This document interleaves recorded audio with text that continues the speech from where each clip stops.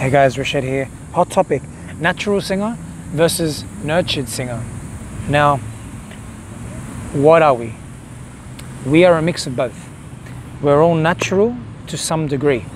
I like to use a scale of 1 to 10.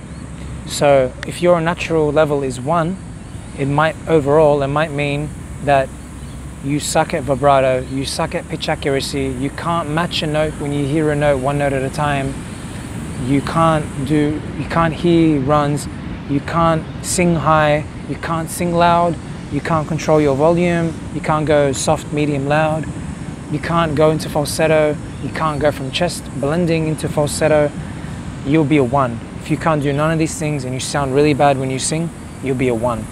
All right. If you can do maybe some of these things to some sort of basic or intermediate level, you'll be higher than a one.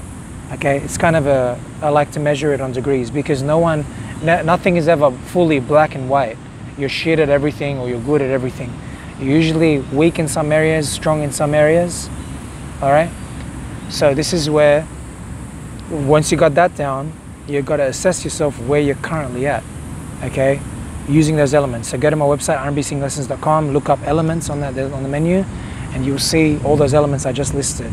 Measure yourself how you are with those. If you don't know how to measure yourself, come see me, I'll help you measure yourself. Once you measure yourself, you'll be like, oh, what's that? If you don't even know what those elements are, you probably need to learn about them. Okay? You got to get lessons or watch my videos. Plenty of videos on rnbsinginglessons.com. Now, let's talk about uh, nurtured singer nurtured singer, we're all nurtured to some degree. We wouldn't learn to sing without nurture. Where does nurture come from? Nurture comes from our culture, our immediate teachers, our implicit teachers, or our explicit teachers. So, all all things we learn, we learn from what we experience in our environment, and that's what I mean by nurture. Nurture comes in with all the songs you hear, the radio, the invention of the radio allows you to hear those songs.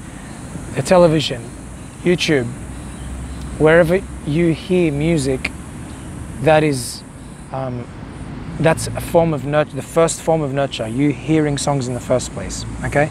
Second form of nurture is you um, being explicitly instructed as to how to sing songs. So it's you being told, like what I teach you, falsetto, um, runs, pitch accuracy, learning melodies, learning the bridge, chorus, learning the verse, all that kind of stuff. That's all nurture. That's someone telling you how to do something. That's the nurtured side. Okay? We all get nurtured to some degree. The people we call natural are people that didn't need to go to a teacher.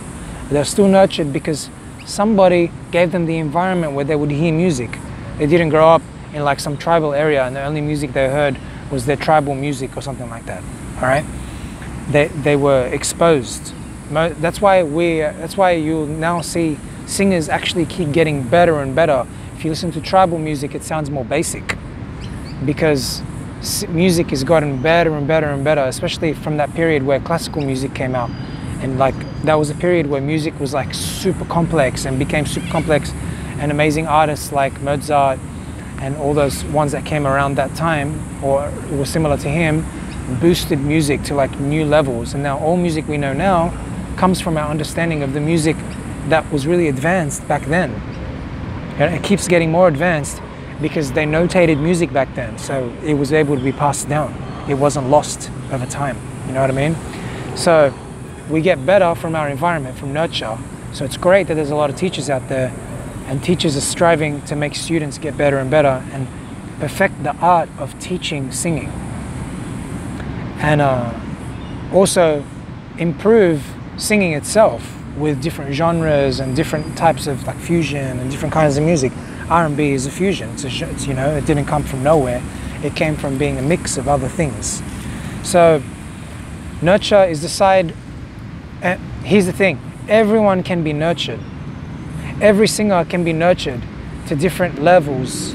Okay, so some people need more nurture, teaching, and some people don't need as much. Some people use more of their natural ability to teach themselves with a minimal amount of nurture. All they need is like, give me the CDs, give me a YouTube playlist, and they'll be like, they can learn it. You know what I mean? Some people need more. Some people need more than that. It's got nothing. That's what I mean by nature and nurture.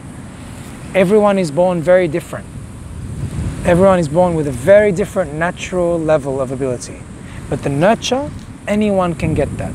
It doesn't matter where your natural ability is, anyone can get nurtured throughout their life. Anyone can be given CDs, anyone can be uh, given a great teacher to help them out, like me. Come see me and I'll help you out.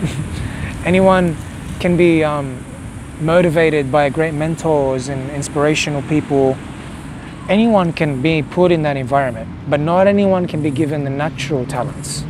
Now, those natural talents are only seen when a person is put in an environment where they can be displayed. That's the thing about nature and nurture, okay? That's very interesting. You can only see if someone's natural at something when that something exists in a certain environment where they can display it. How can you know if someone's a natural at music, at piano, if they're never given a piano? Some people exist in cultures where they never get exposure to a piano. They never have the instrument there. How will you ever know if they get good?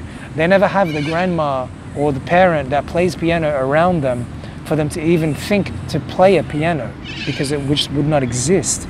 Now everyone has a voice, so everyone can sing, but how would you even know if someone can sing unless they're exposed to singers that sing around them that make them think to sing in the first place? Okay? Now, maybe they're a kind of person that is a creator and they create an art, and that's amazing if they did that. But I mean, in our context, we're not really talking about that. We're talking about singers that are just amazing and they sing amazing, right?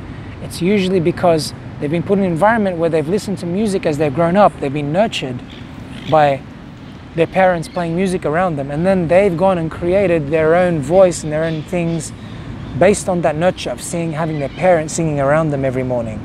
Or having their parent that does gigs and they went to their gigs with them. Or maybe their parent taught them explicitly. Whatever it might be, there's some level of nurture that they got in order to see if they even had the natural talent.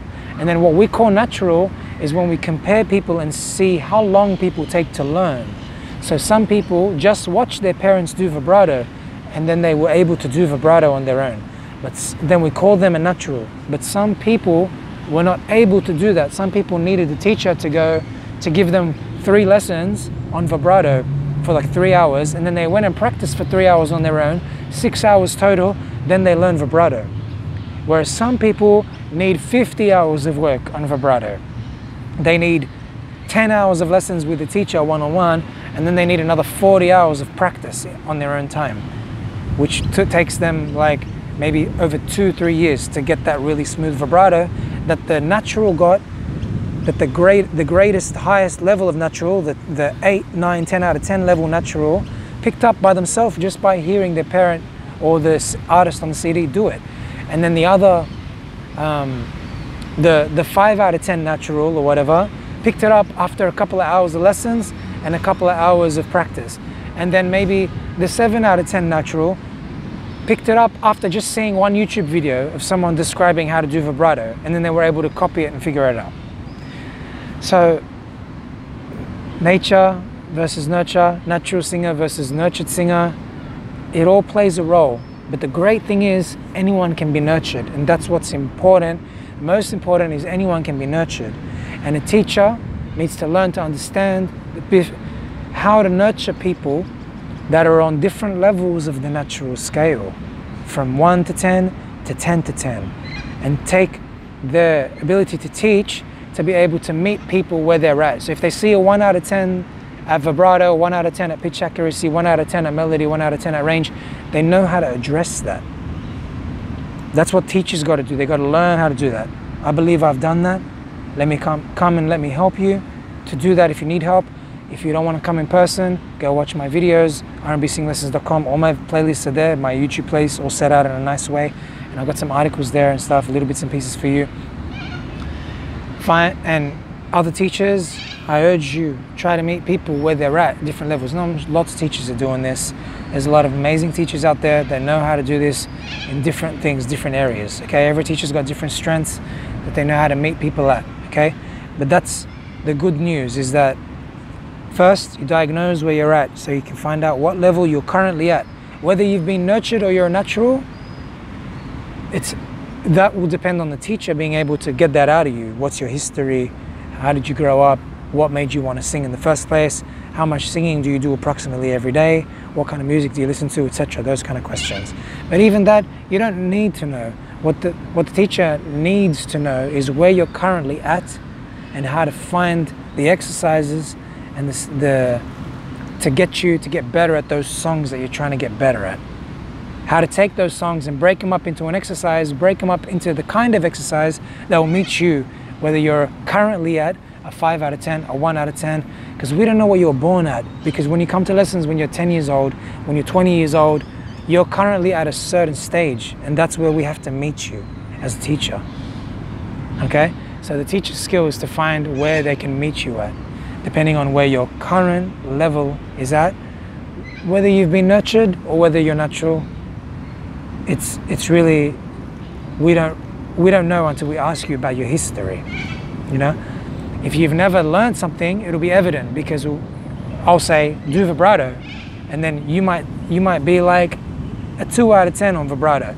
And I'll be and then I'll teach you and if you pick it up in a relatively short time based on what's my experience with teaching a couple dozen a couple hundred people over the years I'll be like wow you're natural like you're a six out of 10 natural because you picked it up after we did like five lessons.